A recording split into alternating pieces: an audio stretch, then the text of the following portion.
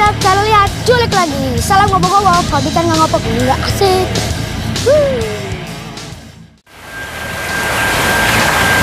Dan Om Renner, Bos Renner masih semangat. Ini kasih contoh yang gede dia bro di kolamnya. Bos Renner masih semangat kah? Terus dong. Kita masih edukasi ini Iya, sambil memperkenalkan ikan-ikan dogfish ada di sini. Bukan cuma menikmati keindahan Mas Koki, tapi sekalian belajar gitu. Oke. Sekalian belajar. Ini di video ini agak jumbo mungkin ya. Ini ada yang masuk di senior, jumbo, sampai suju nih om. Suju di, di ini mungkin kalau misalkan sebelum aku masukin Nah ini ini kan gede banget nih ya ini masuknya. Banget. Ini masuknya kalau di kontes nih kategorinya udah super jumbo, makanya dibilangnya suju. Super, Super jumbo. Ah, dia 19 cm up. nah ini kan kira-kira kalau nggak salah terakhir nih aku ukur nih udah di 20 apa eh sorry 21 apa 22 gitu. Ini harga agak lumayan lah yang pilih. Ya, itu yang tadi aku bilang. Ke satu dia punya bahan kan udah shockless. Iya, nah, iya. terus merawat sampai masih rapi segede gini kan butuh effort banget gitu loh, Om. Dan waktu Iya, effort banget. Nah ini aku masukin nih, biar teman-teman ngeliat. Tadi kan udah ngeliat di tangan kan. Nah sekarang kita masukin ke akuarium nih. eh dan bro, Oh. pleng. Aduh. Bahaya. Wow. Ngeri. Nah, yang ini Nah, ini, secara ukuran. kira-kira masih senior nih Om. Oh, ini senior. Nah, ini masih Oh, senior. lebih kecil. Nah, ini masih senior. Rancu masih kita ya. Ya, ini ini ini jumbo yang ini. Ini kemarin aku ukur terakhir jumbo. Nah, ini aku bilang eh, paling nggak jadi bayangan ke teman-teman, tapi punya warnanya beda. Ini masuknya ke kaliko tetap. Cuman orang-orang kita sebut karena basicnya dia biru, akhirnya sebutnya kirin.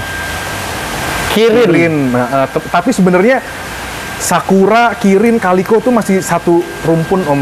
Jadi sebenarnya kalau orang awam dulu, aku dengar, aku belajar, sebenarnya sebenarnya kategorinya tuh justru namanya Sakura aja simpelnya. Kenapa Sakura? Dia punya bling-bling di Sisik. sisiknya. Iya. Nah, cuman eh, karena kitanya orang kita nih akhirnya mengkategorikan warna-warna tuh akhirnya yang kira yang kira-kira masuk ke kebiru-biruan gitu disebutnya kirin. yang item-itemnya total-totalnya lebih banyak akhirnya sebutnya kaliko. Iya. Nah, yang basicnya dia ke merah putih disebutnya sakura. Tapi sebenarnya kalau mau diniin mereka tetap satu keluarga. Sama karena aja kalau ya. karena kalau dalam apa dalam berternak dalam breed eh, kita nerakin kaliko pun sakuranya keluar om. Oh iya pasti. Ah, ah, sakuranya keluar. Nah ini contoh oranda nih. Nah ini aku minta maaf banget juga karena kan stok oranda di kita ini masih burayak nih. Mungkin nanti sama omnya dikasih Iya. video juga masih pada burayak.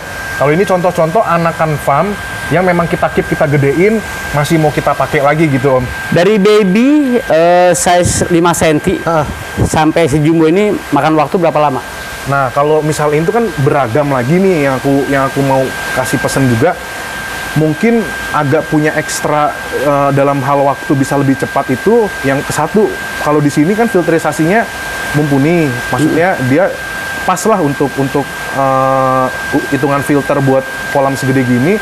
Nah, yang kedua itu dia om pentingnya luas kolam itu sangat Iya. membantu gitu, sangat berpengaruh buat besarnya koki gitu. Jadi jangan samakan ketika kita tinggal di apartemen dan di lingkungan padat katakanlah dan di rumah yang taman luas maksudnya hasilnya nanti akan berbeda mungkin seperti itu Nah, ini kan, kasarnya ini kan kalau teman-teman banding ini, nah ini kira-kira contohnya tadi nih kecilnya nih, nah ini kecilnya nih, tuh, nah ini ke- kecilnya nih, nah ini kan bisa dibayangkan nih, Iya. bisa dibayangkan ketika nanti kira-kira kita rawat dengan baik, kita grooming dengan baik, dia mengembang gitu kan, nanti kan prosesnya dia kan akan ke sini dulu nih om, gedenya, nih pelan-pelan dulu deh, kita ke sini dulu nih, tuh, mirip kan?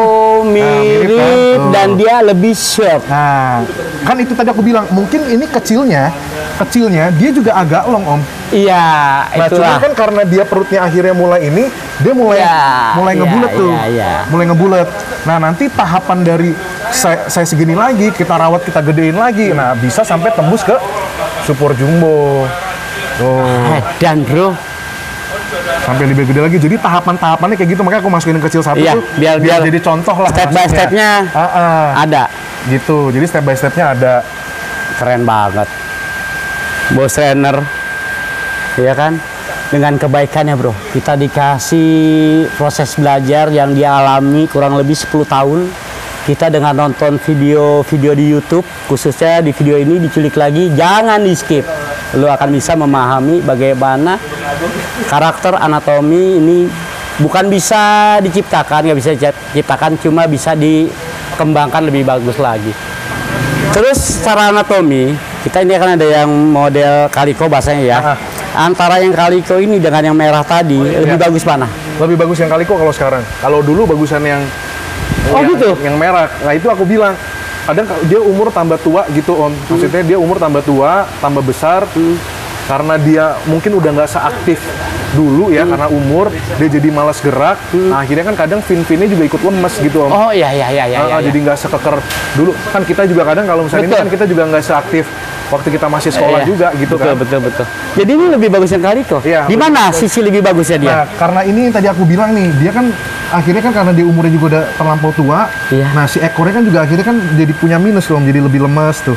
oh. Nah, ekornya juga udah lama-lama akhirnya bisa jadi agak panjang sebelah juga, Iya, iya, gitu kan yang awalnya tadi mungkin nggak nggak se masih nggak sekuat Iya. apa dulu lebih kuat dari inilah gitu. Nah kalau misalnya ini kan dia sampai hari ini kan dia walaupun kualitasnya kasat mata sama, tapi dia masih punya potensi karena masih keras-keras gitu kan, dia masih ini. Nah ini aku bilang salah satu contohnya nih om, ini udah sampai segede gini aja belum selesai om. Wih. Kan om tadi kan kita udah belajar dari yang kecil aja kan. Iya. Nah ini pangkal sama perutnya aja kan masih jauh sekali. nih. Oh, jaraknya masih banget tuh. ada. Oh, jaraknya masih jauh banget. Berarti Jadi- ca- cara secara ukuran. Ah, jadi nanti secara ukuran ketika dia makin mepet, dia Hmm. gede makin mepet, nah dia kan nanti akhirnya punduknya ini kan makin tinggi lagi, makin ngebulet gitu. Hmm. Cuman sekarang dia masih belum mau ngebulet ini karena dia manjangnya aja belum selesai gitu. Edan. Dia belum dia belum belum ngebulet karena ya kalau Iya. dia bisa ngomong bos, gua selesai manjangin aja belum gitu kan. Kabar lah maksudnya sampai selesai baru dia diiniin. Wih, keren keren. Nah, kalau misalnya ikan-ikan yang seperti oranda ini, kenapa dia sam dia segede gini, dia udah ini. gitu kan? Iya. Tuh, dia udah ngebulet. Karena pada dasar awalnya, ketika kita ngelihat body bulat kayak gini, bahan dari kecilnya juga nggak terlalu long gitu om. Nah, dia dia agak lebih kita katakanlah lebih bantet atau medium lah gitu. Jadi bahan-bahan yang di mana dia ngebuletnya tuh lebih cepat dibanding yang panjang. Gitu. Waduh. Waduh. Nah, ini kan beda jenis. Ah, ah. Ini oranda. Iya. Ini rancu. Kualitas sudah kita bahas. Antara yang merah dengan yang kaliko, ini potensinya masih jauh. Ini secara usia udah cukup tua. Secara grade, di luar perbedaan jenisnya, antara ini oranda dengan eh, kaliko ini lebih bagus mana secara grade? Kalau secara secara grade sih imbang sih Om, cuman begini kalau kita bicara oranda itu atau ryukin atau demekin itu kan di dorsal ya Om ya. Ya, Nah, dia punya dorsal kan. Sebenarnya ketika dorsal itu bengkok atau roboh, fin atas, fin atas. nah, itu Iya. sudah Oh. kualitas Om dan itu membe- membedakan harga lah. Berarti pemeliharaan antara Betul. rancu dengan Ah, oranda Nah, beda. makanya kenapa sebenarnya berdorsal itu kita mesti jaga baik-baik sih sebenarnya. Iya. Ini bro, dosa fin atas nah, itu. sebenarnya kan ini bukannya tidak layak kontes om karena kalau di kontes itu aku menambahkan satu catatan ketika ikan sudah masuk di size senior atau jumbo up itu sebenarnya ada dispensasi mengenai fin Ada ya. nah, ada dispensasi mengenai fin karena dengan size yang sebesar itu ah, kayaknya agak kurang Sulit mempertahankan. agak, agak agak kurang apa ya kita nggak mengapresiasi hobis menjaga sampai segede gitulah Iya, Nah, iya, iya. akhirnya iya, karena iya. kita menghargai jeripaya mereka, mereka bisa merawat ikan masih baik seperti itu. Jadi ketika di size senior up nih, aku bicara senior up ya, senior jumbo berarti sampai suju. Iya. Ketika ada ekor yang sekiranya melenting Iya. atau ada dorsal yang bengkok, Iya. itu jadi kita masih kasih Toleransi. toleransi. Iya. Tapi kalau untuk di baby sama junior karena ukurannya masih kecil, mutlak harus tegak. Nggak boleh itu ya, nggak boleh Iya. dilanggar. Ah, ah. Nah kayak gini kan, ini walaupun di senior ini atau di jumbo dia masih potensi om ya, maksudnya ini masih layak kontes ya. Iya. Tapi kalau dia ketemu sama sama lawannya yang dorsalnya lebih tegak dari ini kan, udah pasti dia Iya, selesai lah. tersisihkan. Iya, selesai sudah Ah, tugasnya dan iya. bungkus bawa pulang ya. Iya, udah pasti gitu. Jadi makanya kenapa pentingnya akhirnya menjaga ikan berdorsal supaya masih tegap sih sebenarnya nilainya di situ. Cuman makanya aku kasih catatan, bu- jangan maksudnya takutnya kan teman-teman yang Miara Oranda, Ryukin atau Demekin jadi kecil hati ketika mereka Ya. udah capek-capek ngerawat sampai gede, ya dorsalnya bengkok udah dong. Nah, Iya. makanya aku ngasih catatan nih di sini nih, nggak usah takut. Ketika di senior up itu ada toleransi. Wes keren banget, Gitu. keren banget. Jadi jangan takut belajar buat ngegedein terus juga jangan takut gitu. Dan jangan takut juga datang ke farmnya eh, Bos Renner kalau memang ada waktu boleh mampir yang pasti mungkin WhatsApp dulu biar enak janjiannya bro karena di sini ternyata tidak harus membeli karena prinsipnya Om Renner itu dengan senang hati lu pelajari airnya lu pelajari isi dompet lu barulah kita Ya. tanya-tanya Tuh, harga tuh. Jadi nggak semerta-merta takutnya gini. eh, ikannya mirip nih om, ya ikannya mirip. Aku masukin di satu akuarium. Hobis kan ngelihat kan sama nih om. Iya. Tapi pada saat dia mau bayar, aku ternyata ngasih harganya beda. Ya Padahal dia tanya, Om, kok sama-sama aja kok dibedain? Nah, makanya aku kenapa berprinsip belajar dulu. Kita Paham ngobrol, dulu, kita mengerti, sharing. ya. Jadi ketika nanti ikan itu dua itu aku masukin lagi, dia udah tahu, udah pasti lebih mahalan yang ini.